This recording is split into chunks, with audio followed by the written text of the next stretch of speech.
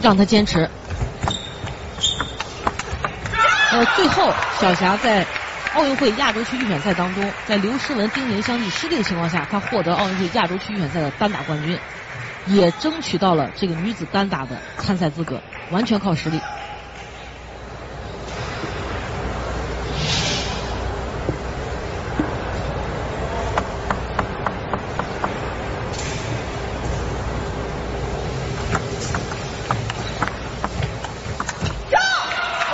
小霞打的非常的聪明，啊，一点错误都没犯，